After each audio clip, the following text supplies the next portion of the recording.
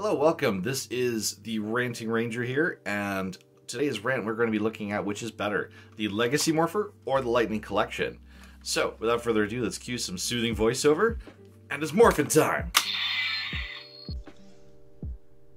Without a doubt, the Legacy Morpher from Bandai is a visually striking piece. The die-cast metallic finish of the plates and power coins shine in a way that only true die-cast metal can. The weathered coins help every detail come to life, while also giving them an ancient look and feel. Even though the actors on screen were using the toy as a prop, this morpher looks and feels how we saw it in our imaginations every time the Rangers morphed before battle. The shine is beautiful, the painted details are clean and crisp, with the only real drawback visually being a screw that can be seen when the morpher is open. The Lightning Collection morpher is still a beautiful piece, it's just not as shiny or as heavy as the legacy version. Hasbro didn't want to just copy what came before them, so with the Lightning Collection, they decided to make their morpher look more like the toy from the 90s that served as the screen used prop. That means that while the Lightning Collection morpher isn't as visually captivating, it is more screen accurate to what was used in the first three seasons of Mighty Morphin. When it comes to size and weight, the Legacy Morpher is much heavier thanks to the significant amount of die-cast metal, though the Lightning Collection Morpher is a little bit taller and thicker. For details, the Legacy Morpher favors the bold, with the red ring and black markings being thicker and more prominent. The Lightning Collection Morpher, on the other hand, leans more towards subtlety. This allows you to see the full Morpher, instead of just the words Power Rangers taking up most of your attention. The power coins for the legacy version are die-cast metal, weathered, and feature a smooth edge that makes even the coins on their own something of a showpiece.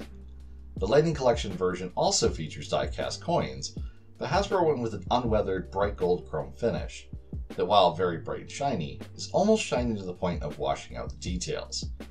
The Lightning Collection coins also have prominent tabs used to lock the coin in place, and while this makes the coins lock in more securely, it does take away from their individual aesthetic.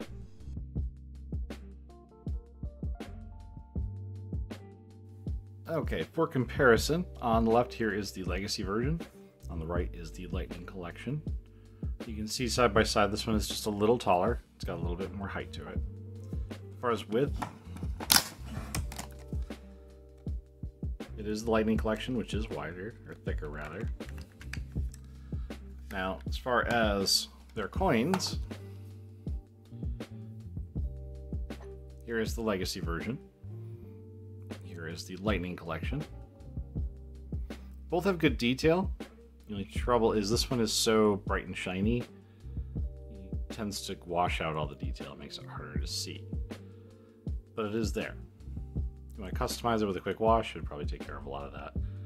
Um, but the Legacy version is a weathered coin but it is also smooth, whereas the Lightning Collection version does have the locking tabs. On the back,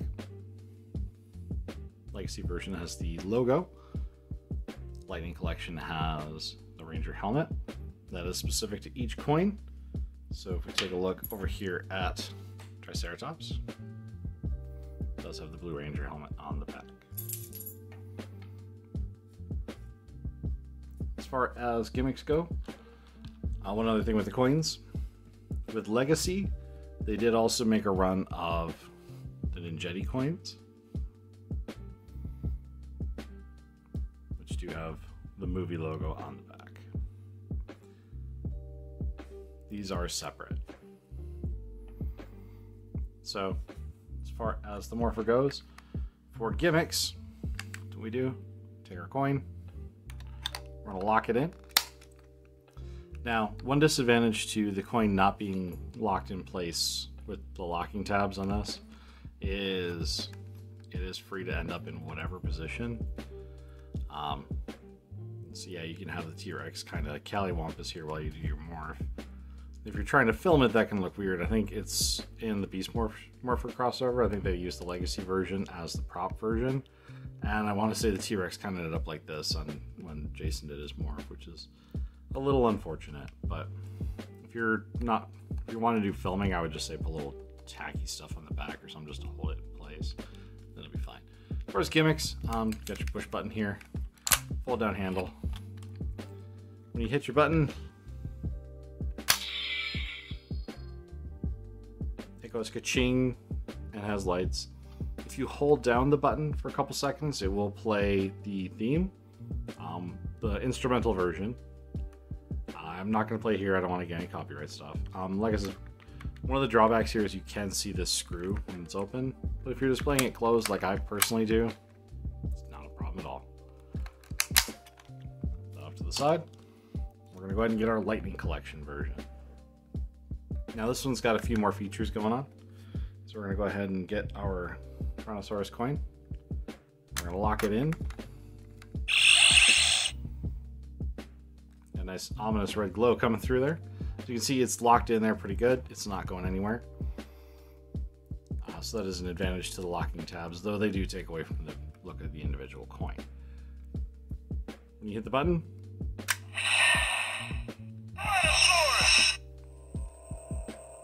they call out their dinosaur. And to my knowledge, it is the original voice cast, is the original. So that was Austin St. John.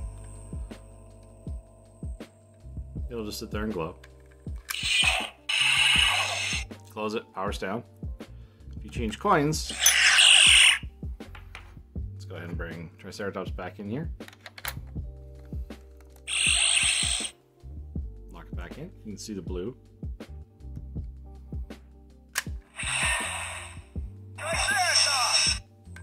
You got David Yost, yelling Triceratops.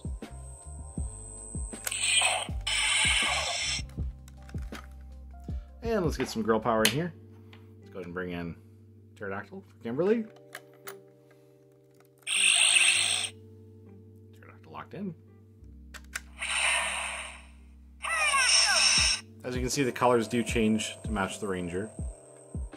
That's a pro and a con. Technically, it's not accurate when they actually transform on screen. It's always just the red dots, but I mean, it's a nice little feature to help separate it. I'm gonna go ahead and take out the coin. You try to do a morph without the coin in there, it shorts out. so it does recognize a lack of coin. I'm gonna set that aside for now. There is one more feature on the legacy version I forgot to mention. There's also one more thing that's gonna do, so we'll give it a second. So for this, we actually do have an on-off switch, which is nice. For the Lightning Collection version, it just kind of powers down after it's ignored. So this, um, turn it off.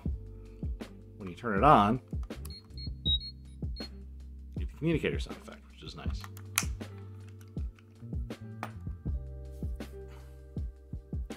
This doesn't want to do its power down noise. It should go to like make a power down, but it's all right.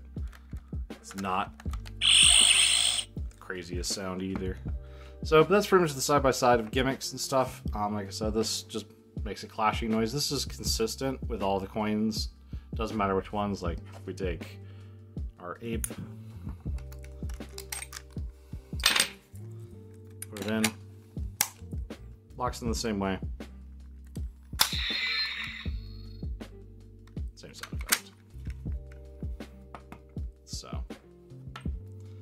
Doesn't matter which coin's in the legacy version, it's gonna be the same. There's power down. It's gonna be the same regardless. Uh, Lightning Collection does have different sounds for whichever coin it is. Um, although right now there are only the five main coins for the Lightning Collection version. There's not even a green or a white coin yet, so uh, you are just confined to the standard five coins, which for most collectors is perfectly fine. So that's pretty much it for the gimmicks. Both versions include the Morpher, belt clip, and all five of the main coins. The Lightning Collection Morpher also comes with a display stand that shows off the Morpher and has slots for the other four coins. The Legacy version has its two LR44 batteries included, while the Lightning Collection's three AAA batteries are separate.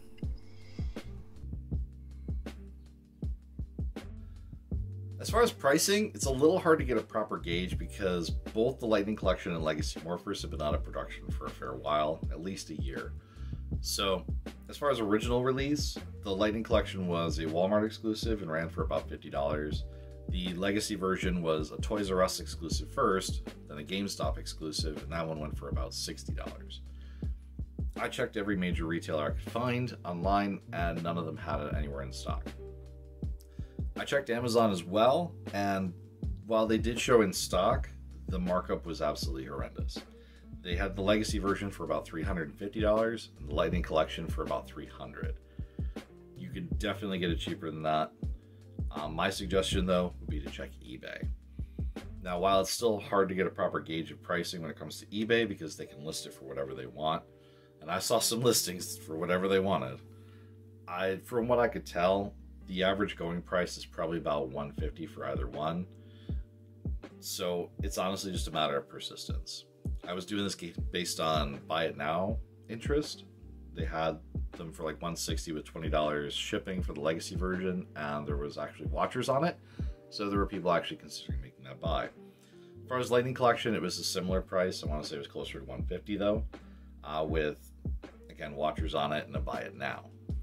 I did see over the weekend some legacy versions went for about 125 with shipping but that's just a matter of if you're in the right place at the right time and to get into an auction.